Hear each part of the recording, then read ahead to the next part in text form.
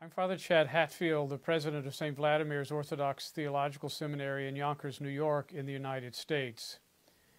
I want to assure the entire Malankara Orthodox Syrian Church community worldwide of our love and prayers for you in this time of mourning as we have received the news of the passing, the falling asleep in the Lord of His Holiness, Moran Mar Basilios Marthoma Paulos II, the Catholicos of the East and Supreme Head of the Malankara Orthodox Syrian Church.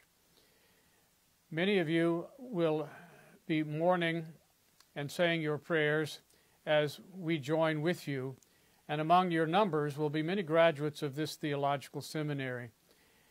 It's a time in which many of us will reflect on the wonderful pastoral leadership that all of us have received through the hands of this Catholicos.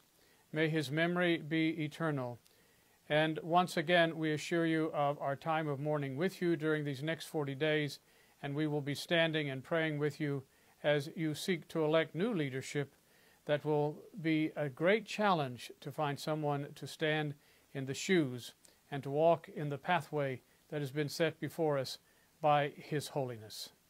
May His memory be eternal. May He rest in peace and rise in glory.